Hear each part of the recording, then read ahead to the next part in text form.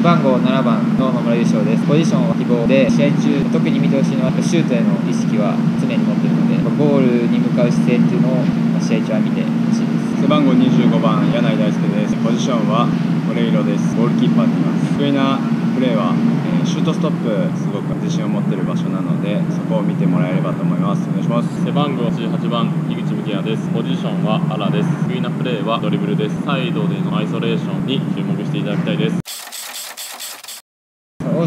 長から声をかけてもらって大阪に2年間一応2年とは言われてるんですけどまだ分かんないんですけど2年間修行してこいっていうことで話をもらって大阪のプレー見た時に希望当てだったり攻撃的なプレースタイルのチームなのでそこを行こうと決めました。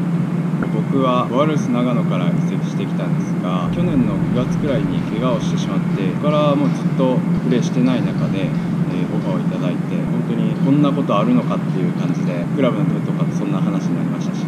ただ、まあ、本当にありがたいオファーだったので大阪でプレーできるならっていうことでもうすぐにお願いします。って言いました、はい、怪我の方はもう？怪我はそうですね。まだ復帰して1ヶ月くらいなんですけど、まあ、徐々にコンディション戻ってきて今はちょっと体重が増えてしまってるんでちょっと落としながらっていう感じでやってます。昨シーズンで、まあ、横浜契約満了ってなってチームを新しく探してる時にこの大阪に声をかけていただいたので自分の成長のために大阪でチャレンジしたいなと思ってしました、まあ、僕たち一緒のようになって3人で生活してると思うんですけど共同生活をしてみてどうですか僕的には慣れてるっていうか名古屋のサテンの時も一応4人で部屋一緒で寝たりしたので一応慣れてるんですけどやっぱ自分がやれないことをお願いできるんですけど時間ない時に誰かにお願いしたり、まあ、朝、ま起こし合ったりっていうのができるんでそういう面では1人暮らしよりは住みやすいかなとは思います。寮生活は初めて共同生活っていうのは今までなかったんですけど今のところ楽しくやっててまあいろいろみんな協力的に掃除とかもしてくれるんで、まあ、楽しくやっていけそうだなって感じです今のところは休みの日何してるか聞いてみたいな休みの日は今んとこ家でゴロゴロしてることが多いかもしれないですゆっくり寝て予定がなければ携帯いじったり、ま、YouTube 見たりっていうのが今のところ多いんですけど、まあ、大阪も初めて来て関西に住むのが初めてなのでこれからちょっといろんなところ行ってみたいなっていう思いはあるので生活に慣れてきたらちょっとずつ外に出ていこうかなって思ってます。僕は最近だとまだ生活に必要なものを揃える時間に当ててることが多くて自分だけちょっと下が畳なんですけど畳なんかちょっとフローリングみたいなのを買いに行ったりあと電気が最初なかったので電気買いに行ったりとかミキヤ君と一緒買いに行ったりそういう時間に当てることが多くて、まあ、とはだんだん慣れてきたので僕もちょっと大阪のいろんな観光地だったりは行きたいなという気持ちは、はい、あります。フットサルを始めたきっかけを聞きたいです。フットサルを始めたきっかけは僕は大学3年生の時にフットサルを始めたんですけどもともとずっとサッカーを大学でもサッカー部に入ってて大学3年くらいからみんなこう就就職のことについてこう話していく中でもともとはサッカーでプロに行きたかったんですけど、ちょっとゴールキーパーとしては、まあ、身長とかちょっと足りないしちょっと現実的なところを見るとなかなか難しいかな。ただやっぱり競技をそれでも続けたかったので僕はなんか小学校の時にフットサルチームに入ってて三重県のツーラピドっていうチームそこでフットサルまあ今で言ったらまあミニミニサッカーやったなっていう感じですけどちょっとそこで走った経験があったのでちょっとフットサルにかけてみようかなということで始めました。フットサル競技として始めたのは高校卒業してからなんですけどもともと親子フットサルとかその年長さんぐらいの時から家族でそういうフットサルの大会に出てはいたのでフットサルに関わり始めたのは保育園年長さんの時でそこから家の近くの岐阜が出身なんですけど岐阜岐阜の可児市にある、フットサル場でサルに、10年ぐらい、ずっと通っててそこのスタッフの人がオーシャンズがまだ1個前のバンフ時のサテライトにいた人だったんでサテライトのシンさんとも連絡が取れる状態でそういう人に一応勧めてもらってサッカーよりはフットサルの方が向いてるって言われたのでそこで高校卒業してまあサリスタっていう岐阜県のチームに入ったのが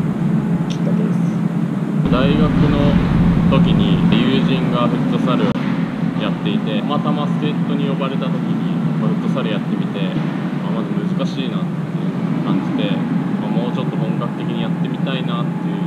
形で最初神奈川県3部リーグでフットサルを始めたのがきっかけです。今フットサル始めたきっかけありましたけどなんか始めて困ったこととか戸惑ったこととか難しかったことってありますか？そうですね。最初セットプレーとかクリアランスとか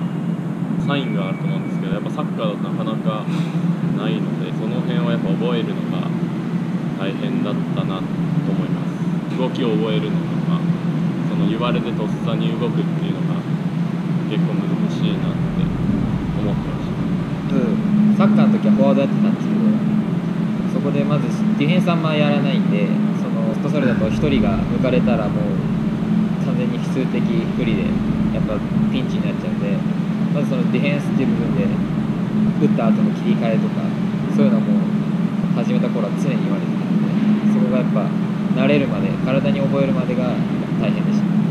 最初は、まあ止めるっていうことは一緒なんでゴールちっちゃくなるし止めれるやろって思いながらフットサル始めたんですけどサッカーはキーパーって手で取りに行くっていうことが多いんですットサルはやっぱ見ての通りこう足で止めに行くっていうことがなかなかその足が最初出なかったりあとは結構こう柔軟性がなって思うことがこうキーパー多いと思うんですけどやっぱり足が全然開かなくて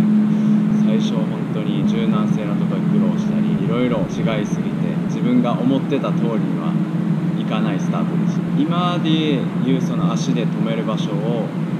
僕は手で行ってしまってたんで手で行こうとするとどうしても距離が近いので間に合わないということが起きてそれを直そうと思って次は足を意識しようとすると上に来た時の手で取りに行くところが反応が遅れたりもう頭がぐちゃぐちゃになってすごいその当時の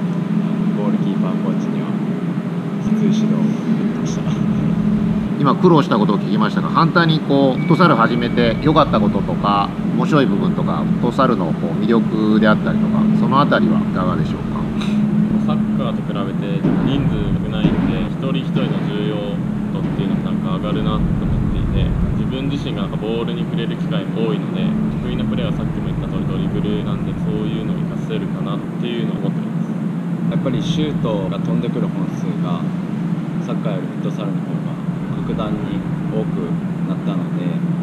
そういう点でシュートストップが好きっていうところがあるので、まあ、たくさんボールが飛んでくるところがすごい楽しいです。サッカーやってた時も走れないといけないんですけど自分的に体力があんまない方であのコートだとやっぱロングシュートも狙うぐらい、まあ、サボールじゃないですけどあんまり長い距離走るのが苦手なんでそういう分ではゴールがすぐ近くっていうのもあってすぐシュートもいけて常にゴールを意識できるっていうのがフットサルの魅力かなと